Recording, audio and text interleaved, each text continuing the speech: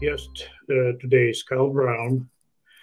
He's uh, one of the head leaders of Ekklesia of Oklahoma, the uh, nonprofit organization that uh, trying to involve uh, Christian church into political uh, actions, and also was the chair for Logan County uh, Republican Party for the last four years, I guess, right, Kyle? Yes, sir. Yes, sir.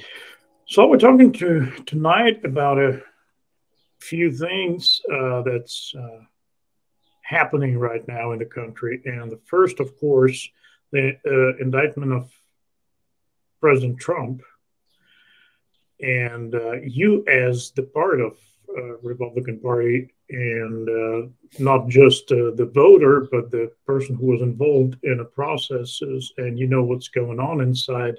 So, how did this event affect uh, the party? What's going on right now? What people think? What the like?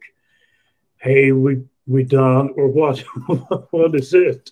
Yeah, I would say that the majority of the people that I've seen the Republican Party, it's it's hard because you kind of have to differentiate the common voter from those in the party, and uh, because the and I would say in the party, leadership in the party right now, leadership in the party is looking their best to try to find the safe bet. They usually always do that, um, whatever it is, and so right now the party is kind of taking a neutral stance on what's happening with Donald Trump, which is interesting. The GOP as a whole across the board um, in most states aren't doing a lot right now to help President Trump.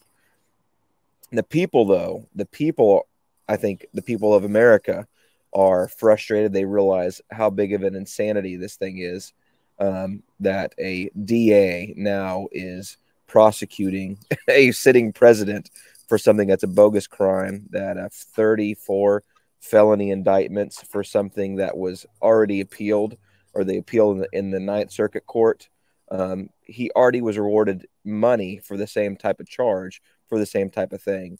But this rogue DA in New York is uh, just trying to do what he can to have political theater. So the people, I would say, are upset, and we realize what it is. It's just political theater. Um, they the first time that he has to appear mix is interesting. Again, is December in court. It's just insane. So they're they're trying their best to go to and you know this Bolshevik tactics to uh, try to intimidate and use legislation to legislative efforts or judicial efforts to try to smear a political opponent. And so the major- the GOP right now, and I say this because like you just said, I've been for the past four years, I've been in the Republican Party here in Oklahoma. One of the things that's disenfranchising is while the conservative base is fully, I, I believe, fully behind Trump, with a few heads really kind of weighing towards DeSantis, they for the whole are outraged at this. They're outraged that the lack of action from the Re- Republic trying to step back and say um, what's going on, and the lack of response, like um, I would say, even from most anybody in the Republican Party. There's no governors, there's no DAs in the Republican Party speaking out against this. It's really just the conservative talking heads doing it. So I'm kind of frustrated right now because it's probably the one of the grossest um, displays of power I've seen ever by the Democrats in however long. And right now, the Republican Party is just sitting on their hands.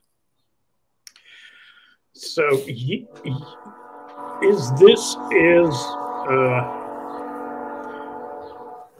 is this is the reason uh, uh, that you you're not running for reelection as the chairman for the Logan County, uh, or it's or is some other reasons for it. Yeah, no, I would say this is one of the reasons, and it's it's hard because the uh, the the GOP itself, the political entity of the GOP, is a is a club. It's a club that's supposed to uh, represent Republican conservative values.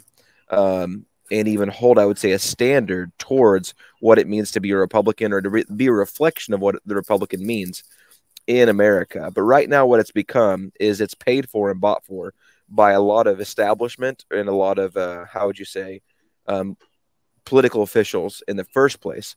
So what happens is it becomes a stepping ladder for those who have ambitions in politics. So they right now don't take any stances really that are going that are controversial. So right now, the R- Ronna McDaniel, the head of the GOP nationally, the uh, the RNC chair, she right now is aligning with uh, the log cabin Republicans, which is the pro LGBTQ plus Republicans, and she's doing her best to make the Republican Party a very open and I would say inclusive socially. Um, when her base doesn't believe that or agree with that, so there's a lot of things happening because they're trying to make sure they're not marginalized, that they miss out, especially with Trump. They don't want to speak out for Trump before a primary because they want to make sure they don't upset somebody like DeSantis. So yeah, that's one of the reasons they uh they don't really do a lot policy wise either in that same vein because they're afraid of offending someone, I would say, or making sure they have a political position in the future. Well, with all that, uh, as far as I know, DeSantis already speak out in support of President Trump and in all this situation. So, uh, does that mean that uh, Republican Party establishment try to be like more protective for themselves than even uh, some ki- candidates that can run against Trump? Yeah, no, I, I would for sure say they are. Um, you know, it's interesting is DeSantis had the opportunity there for a second to really say because he has a governor of the state could say, "Hey, federal, tr- I mean, federal officers, you're not going to come here in the state of New York. We're not going to extradite them." But what he said was, "I'm I'm not going to participate. I'm not going I'm not going to extradite him." Instead of saying, like, no, there's no way he's going to get arrested. Period. And so he took a line. But what's interesting, if you watch the news interview, he never mentions Trump's name from my recollection. He never mentions Trump's name during that interview, which is really interesting. He's a very smart man. So he did as much as he could to to say, I'm not gonna, you know, arrest President Trump at the same time of not giving him any giving him any support. So but yeah, no, they won't even go that far though. They won't even go that far. Okay, so uh, with all that being said, and it, I, I, I, think you know uh, uh, who Rodney Howard-Browne is. Uh, yes, yes. Preacher from Florida, by the way. So he said years ago, like uh, Democrats and Republicans are two heads of one snake. yeah. And I don't, I don't know how how offensive it sounds for to you since you've you've you've been with the party for for a while. Uh, but what do you think about this saying? Um, yeah, no, I would. Uh, ain't, ain't that too rough? Maybe, maybe it's kind of. Yeah, I mean, no, I would say if you if you're engaged in the political process, I don't think you'd have any problem saying that. Right now, on a national level, there's only a handful of people that are legitimately pushing for conservative fiscal policy, conservative social policy, conservative, uh, um, I'd say foreign foreign policy, um, and that there's just a handful. I would say Matt Gaetz um, Rand Paul, and um, uh, just a few others. I mean, just a few others in that. Um, there's um, Thomas Massie is probably my favorite from Kentucky, and those three or four, um, and you could even go through those, are probably the only ones right now that you could legitimately say are really Republican in nature, or even conservative in nature. So yeah, no, I would agree.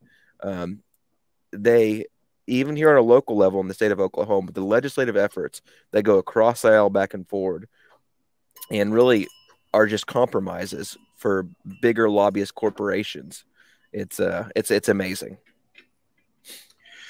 Uh, well, everybody everywhere believe that Oklahoma is one of the most conservative states in the United States, and we know that we have like, well, I mean, we have Republicans everywhere. We, we have all the, I mean, uh, yeah this our senators, our congressmen, and even on the state level, I was checking the list, and I think it's maybe two or three Democrats, even in state Congress. The rest yeah. Republicans. But I was talking just recently uh, with a with economist with a financial uh, consult consultant, and uh, it turns like uh, the whole high taxes that we got in the last a couple of years that were established by Republicans that's supposed to be for low taxes. Uh, so what I got, I'm not sure if if this is definitely correct information, but what I got is that the businesses here in Oklahoma struggling uh, financially now in all the bad economic situation because there is a pretty high state uh, taxes uh, plus with all the uh, federal issues we have. So uh, how is how is that going with the conservatism and with with the idea of low taxation and with all that? And how is it possible?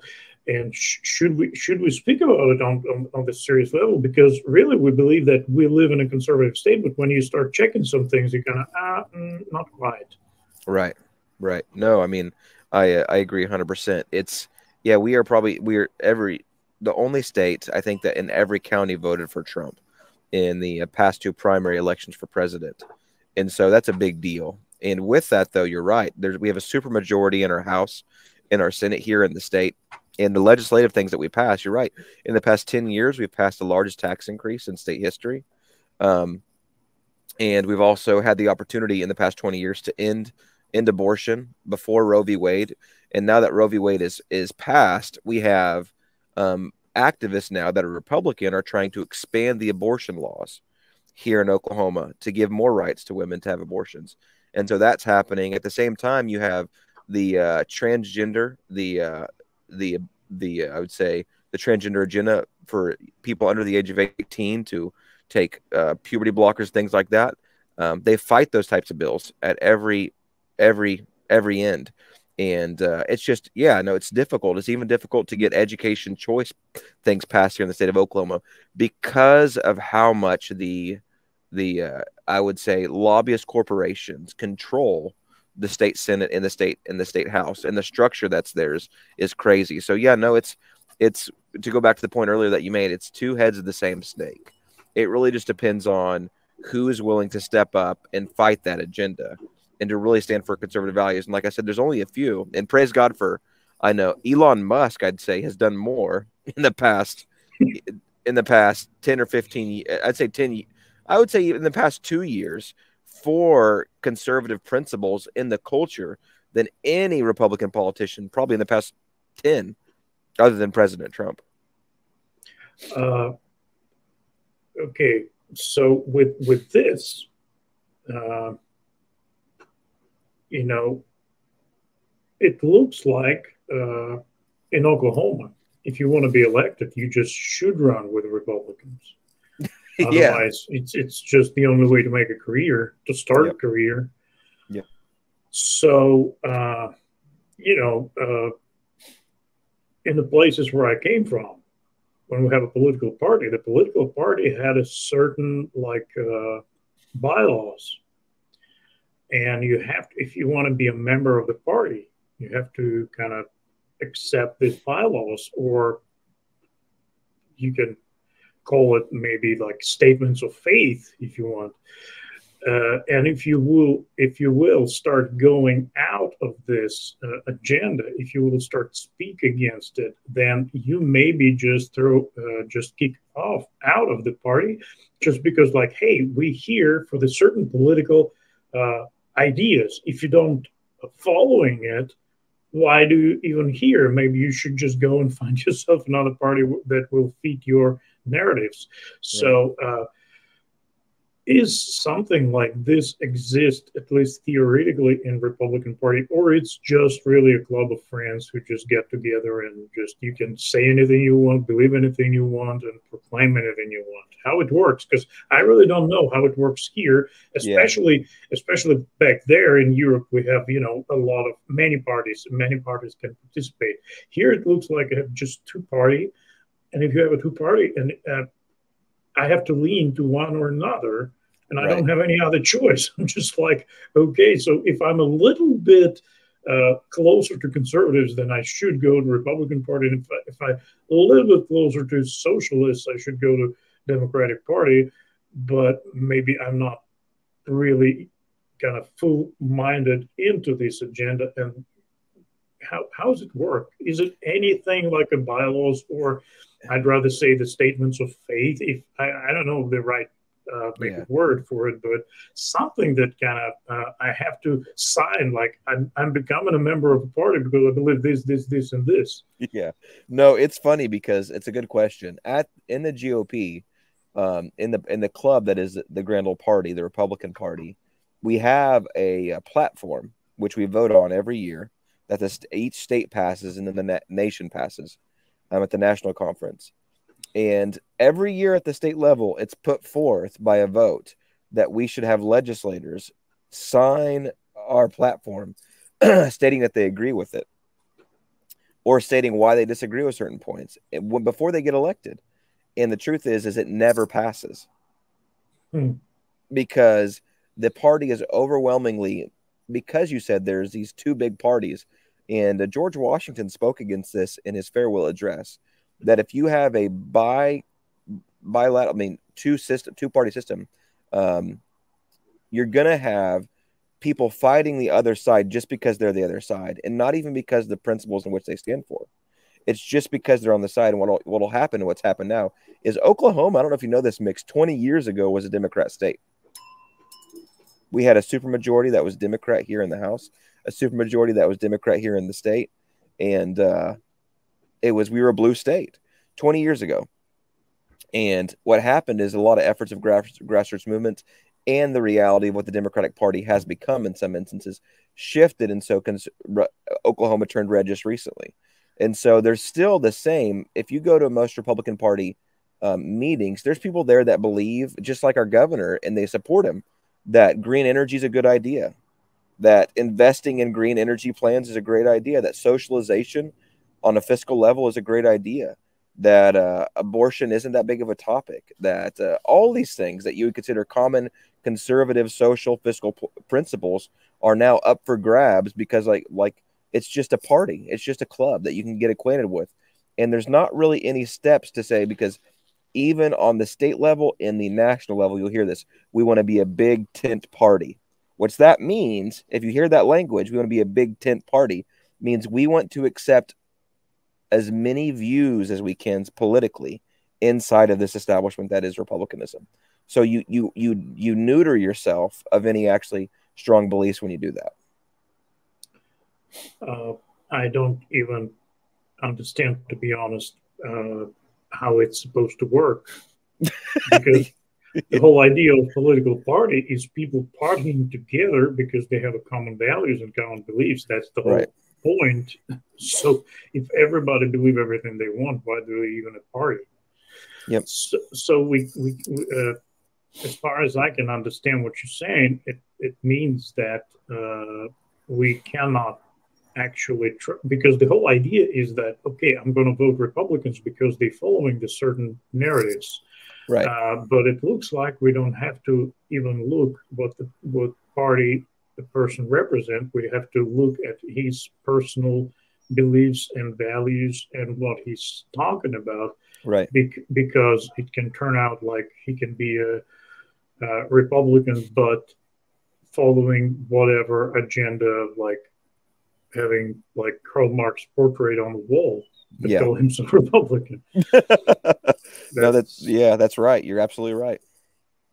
Okay, so um, so in that case, can we even talk about their Republican policies or? I mean, I mean, yeah, we. I guess you you could you could uh, kind of talk about the state of things where we're at right now as a uh, as a nation as a state if you wanted to, um, and we could it we could go from there, but it's up to you. No, no. Uh, what I mean is that uh, is is there even exist like uh, something that we can say that this is a Republican platform, or uh, if, if if anybody can come up with any kind of ideas and still be a Republican, is it even?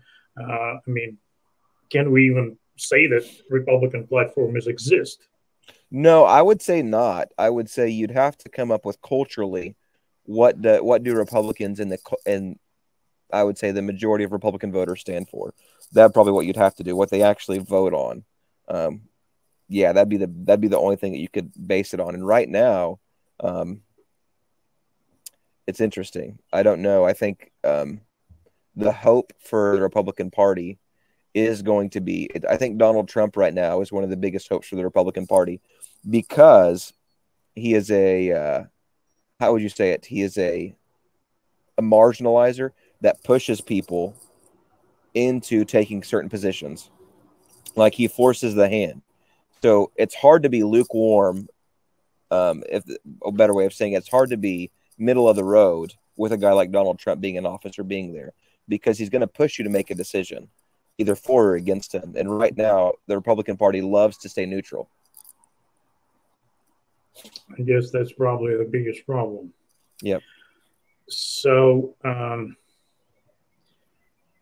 if we talking again about uh, the, all this situation, how do you think? Well, actually, what I would like to ask is uh, if we're talking about the, the historical even uh, platform for Republican Party and how it started, it it it is rather uh, Hamilton Party than Patrick Henry's party. What, that, it was from the beginning. Now it turned into Patrick Henry's party. You know what I mean. so maybe it's just maybe it's just making a circle and going back to this big government uh, uh, group.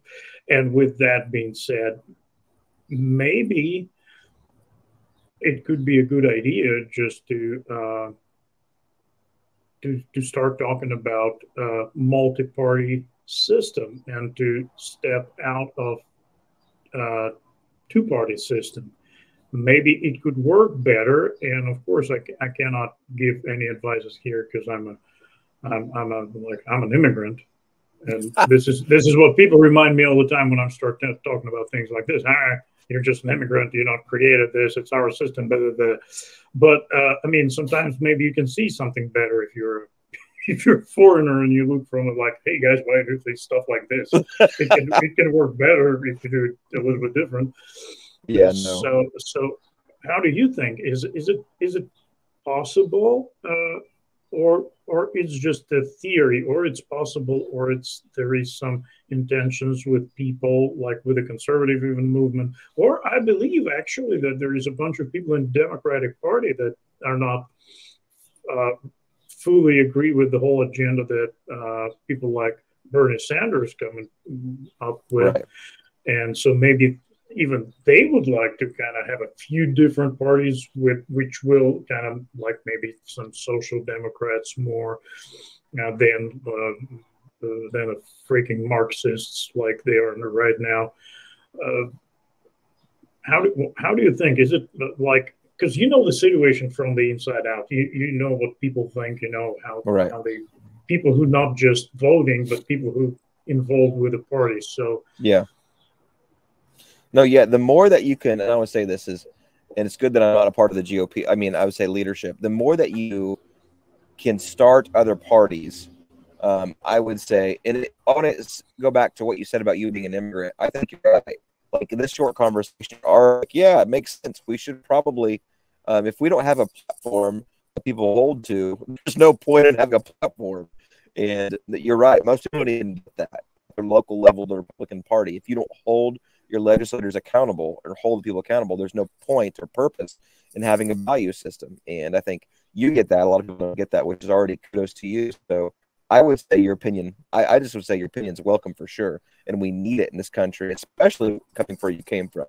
But uh, I would say, no, the more that you can take power away and, and diversify power, and I might go back to the thing earlier, is I'm a Patrick Henry guy in the sense of uh, he really fought for the sovereignty in which states had.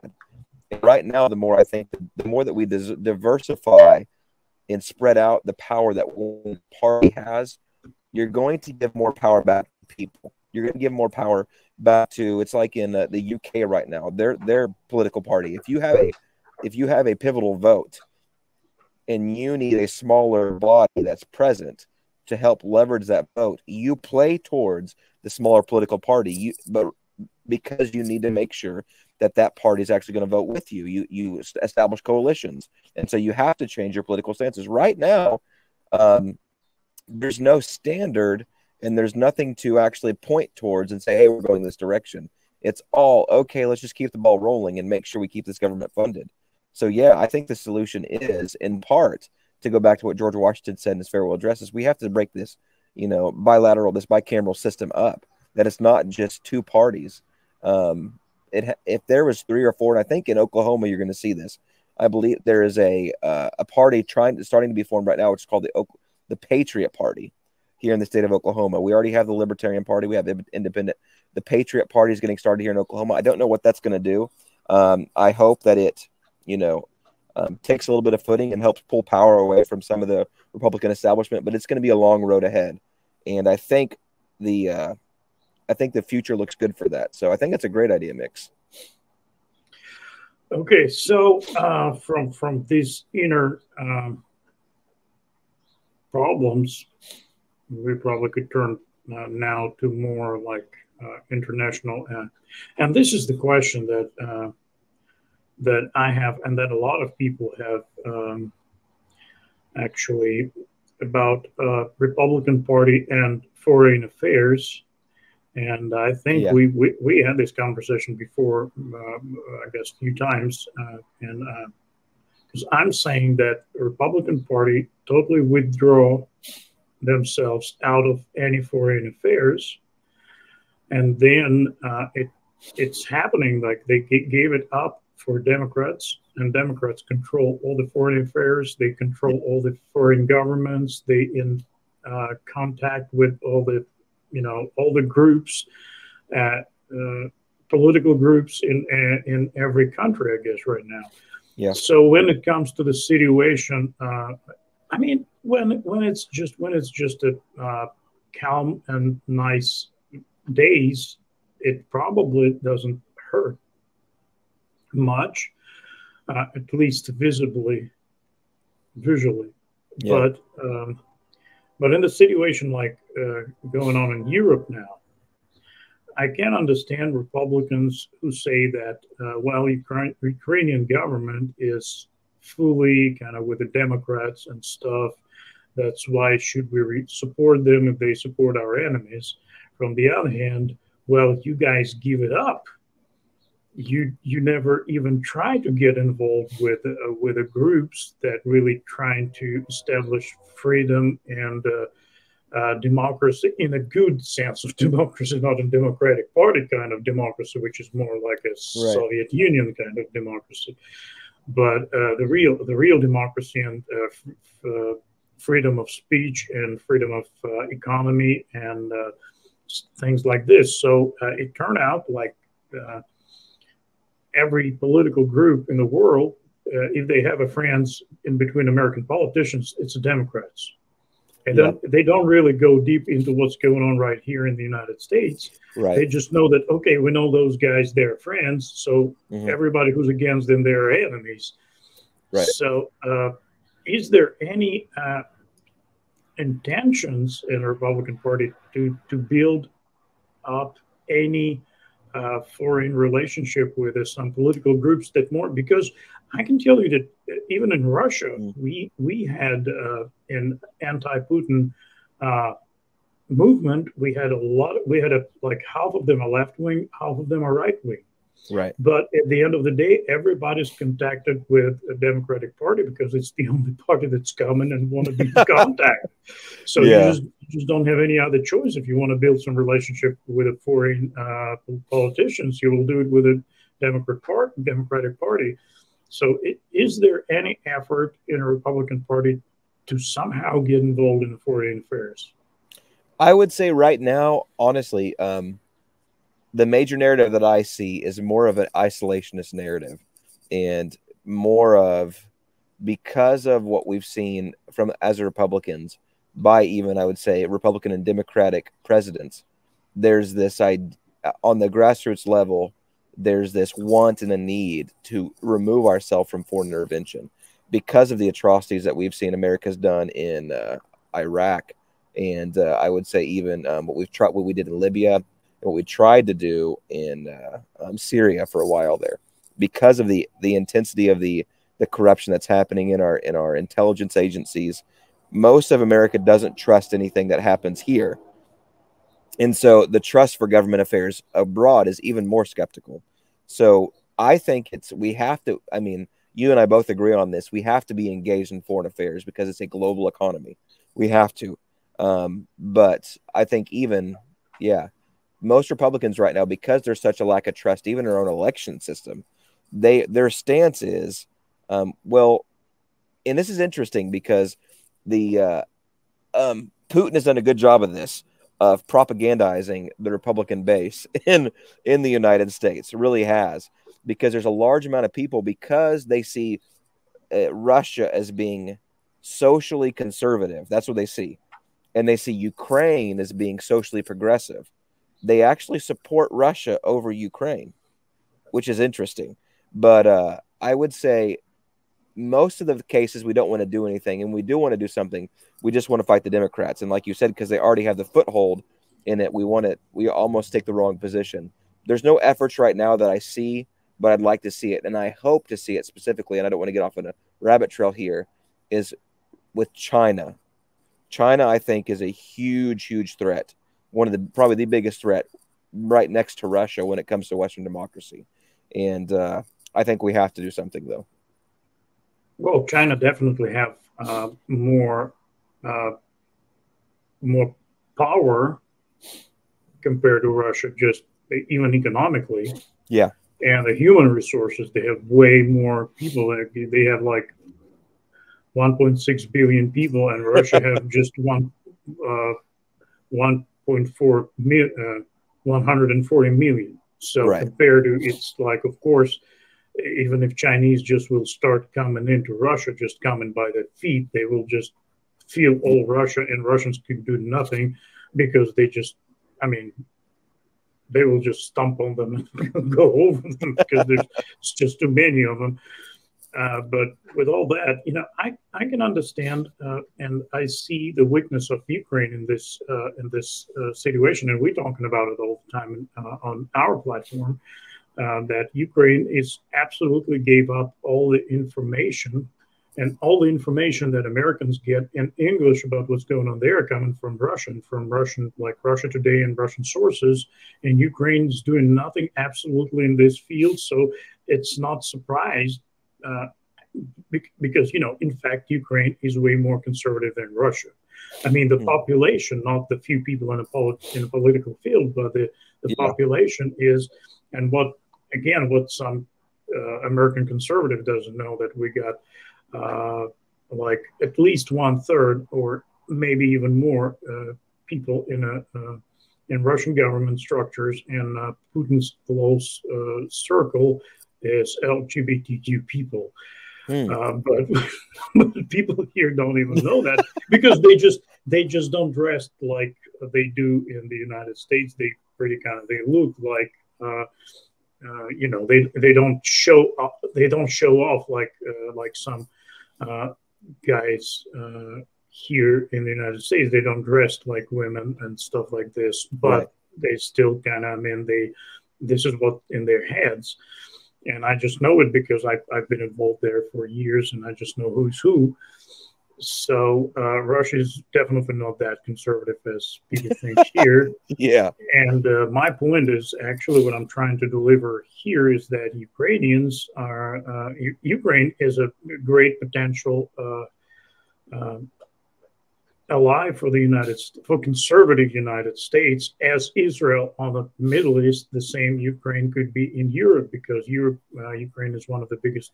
It's actually the biggest country in in, in Europe and uh, had an amazing economical potential. So uh, it's always sad to see how conservatives doesn't get involved with Ukraine because they can build a very serious, strong base there, and you know, Ukraine can become a locomotive uh, in Europe uh, because we need to stand against what's the uh, European Union is doing now. Because what right. European Union doing now right now is they're trying to build a uh, Marx type of socialism. They're exactly like the Democratic Party trying to do here. Yep, and I think that's the biggest thing that American conservatives, I think, at face value, are worried about. They see Ukraine trying to align with NATO um, and trying to align with a lot of um, uh, European countries like Germany for A, like France And the fear for them is, like you're just saying, is that it's going to become another situation like that, or even a hub bed for globalist power to take place. And so, I, but I think we both agree that the answer isn't to like, okay, just let Ukraine do whatever they're going to do. I think it's to actually be a little bit more in, in, I would say, um, intentional about how we pursue helping Ukraine um, with the Russian situation instead of just throwing money at them, like you said, we talked earlier, instead of just throwing money at countries that want our support, actually intentionally helping and saying, what can we do to help your nation? Yeah, I, I, I, agree totally with uh, with this. And uh, by the way, just just just so people could understand that uh, Ukraine leaning now to anybody who can help because yep. they really need help because Russia's bigger. Uh, Ukraine really need help in this war. They're really fighting for surviving of the of the nation. It's not just some territorial uh, uh, misunderstanding because Putin is really trying to destroy the nation as it is. And of course, uh, if if they couldn't find any support, like from like from American conservatives, so of course they're going to lean to anybody who can help. Right. And uh, if it could be NATO or whatever, not, NATO is not a big support anyway, and not a big help. Uh, and uh, and if you've heard this uh, abbreviation for NATO is uh, no actions, uh, talk only. That's, well, that's, yeah. the, the, news. Uh, that's the new name for NATO. Uh, but with all that, uh, people really in Ukraine, people are concerned that Republicans are standing against assistance to Ukraine, and they want totally withdraw all the help.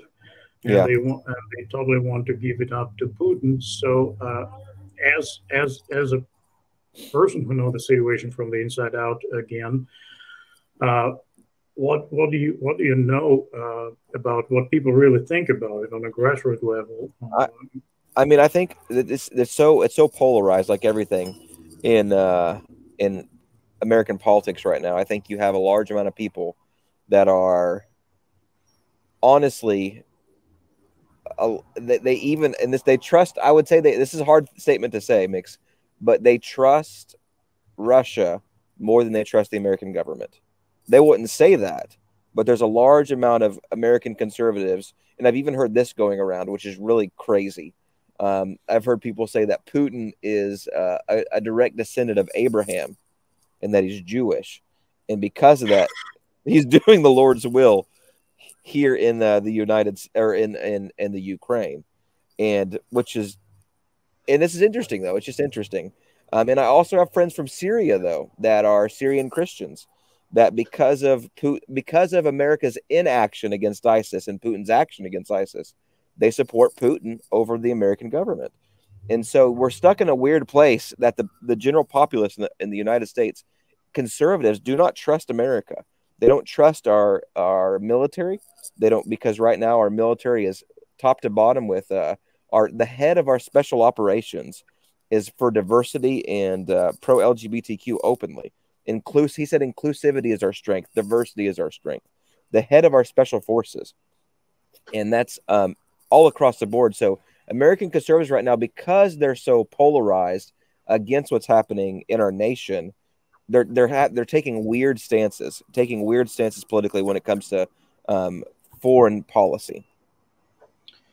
You know, honestly, I, I'm I'm I'm I'm sure that. Well, first of all, I just know that uh, uh, Mr. Biden was uh, working with the Communist Party of Soviet Union, and he was a lobbyist for the interests of Soviet Union in United States Senate for well in the years back in 1980s. So I believe he's still keeping these contacts. At least they keep these contacts with him, even if you don't want it, uh, because this is how KGB works. So I believe that they really work together, and uh, I believe that uh, personally, it looks like you know this uh, throwing money into Ukraine. Uh, I believe it made on purpose to make people get angry with Ukraine finally. because, yeah. Because look, they don't they don't announce anything like that. They throw in yeah. money everywhere, but they don't announce it like they do with Ukraine. Here right. it's like, hey, hey, look, we're going to throw another billion, you know, and it's like, hey guys, why do we even talk about it? I mean, yep. Uh, but the, the other thing that really kind of ticked me off is that uh, I don't know if you know, but that uh, the United States is still uh, financially helping China.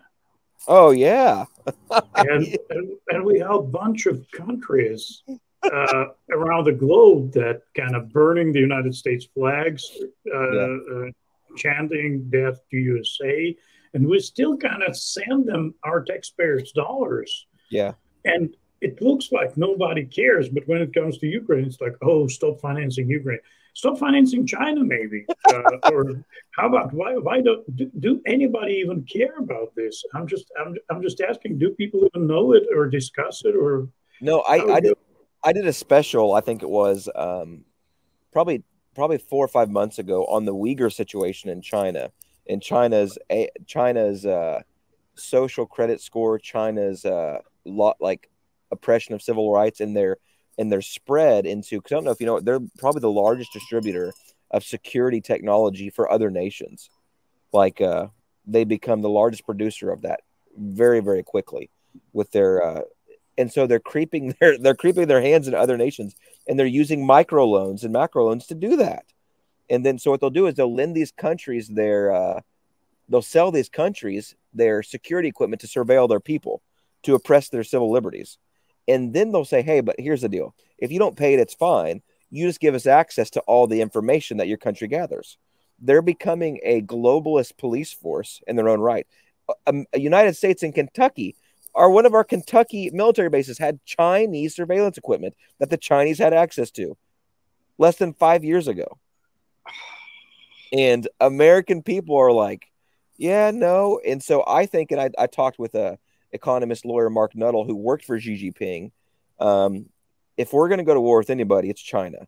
And as soon as if we would, if if America would sanction China today, they would they would probably declare war on Taiwan, and they would have to make alliances. But they would tens of millions, if not hundreds of millions, of people would die sequentially in the next few months because of they don't they, they don't they don't produce anything other than cheap products through labor. In Russia, fuels them to make sure they have oil. So there's this, uh, and a few other countries assist with that as well, but Russia's the big one. And so you're right. It's no, no, but people don't know that. I, I did a presentation on it. And everybody's like, "What? China?" I'm like, yeah, China's the biggest threat right now. So, uh, but talking about this financial part, does anybody in GOP actually worry about uh, that we're spending so much money on the countries that don't even need help now. I mean, they they pretty yeah. much established, or even if they don't, but if they hate us, why should we su- uh, support them? Does anybody even think about it? Because yeah. it looks like everybody's so upset about helping Ukraine, but uh, how about being upset with helping everybody else? Yeah, it's not consistent. I told somebody this. I don't know if you remember this mixer where you were here in the United States when this happened but there was a uh, big push by Ron Paul back in the early 2000s to audit the Fed and then end the Fed.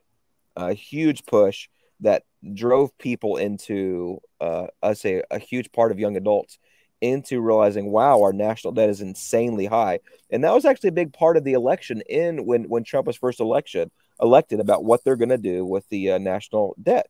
And so I would think that for the most part, no, Republicans in America has become so accustomed to uh, just wasting money that it's almost irrelevant to them. Um, the only thing that's starting to see to move the needle in it is inflation and the price of goods is starting to creep up and creep up and creep up. And so now people are getting a little bit more concerned. But I think I reached out to, I tweeted at T- Thomas Massie, congressman, and he actually and he liked it and he shared it, which was awesome. Uh, which I thought was a huge deal. I like I fangirled over it, but it was a uh, it the tweet was um, he was asking people what should be the next step for him politically, and I said you need to run another like campaign throughout the nation to to end the Fed, to audit the Fed, or fiscal transparency to completely get away with our national debt. Um, and uh, he he that's what he liked and shared. So I think we're going to have to wait to see a, a, figurehead like him to really use his leverage to create another movement like that. We have to have another movement in America for fiscal transparency. It's just it's and I say this, it's not very sexy.